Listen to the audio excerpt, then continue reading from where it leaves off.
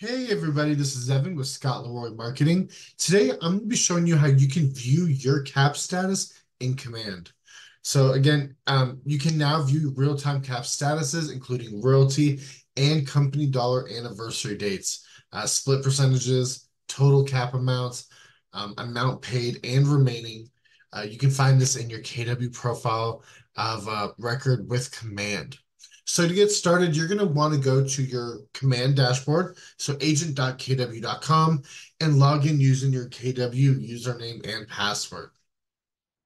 Then you're going to go ahead and click on the top right where you'll see your name. And then you should see a drop down and you're going to go to my profile. Now, then you're going to go ahead and go to the left-hand side where you see my affiliations and then you're going to want to select your market center that you are um, wanting to look at this information for. So as you can see, this is a screenshot of a demo account, um, but your market center would be right over here.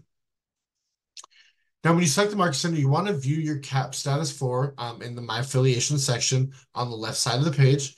You will see your cap status at the top of the page.